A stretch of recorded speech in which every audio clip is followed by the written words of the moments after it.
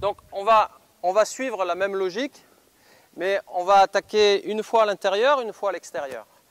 Et on n'enchaîne pas tout de suite les deux attaques. C'est-à-dire si je, si je commence à attaquer à l'intérieur, comme ceci, je ne vais pas attaquer tout de suite l'autre jambe.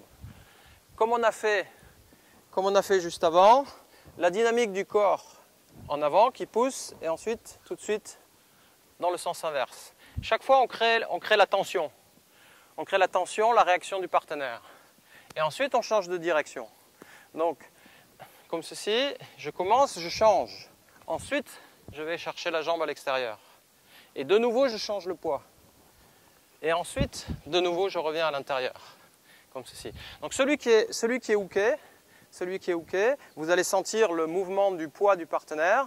Chaque, chaque fois que le partenaire vous, vous, ramène, vous tire, il faut remettre un peu le poids en opposition pour ne pas être projeté en Seoinage par exemple, ou en Tomoenage, ou en technique euh, dans la direction avant. Si après la première, si après le, si après la première attaque le partenaire me suit, je peux projeter. Mais dans la logique du randori, vraisemblablement, ce n'est pas ce qui va se passer.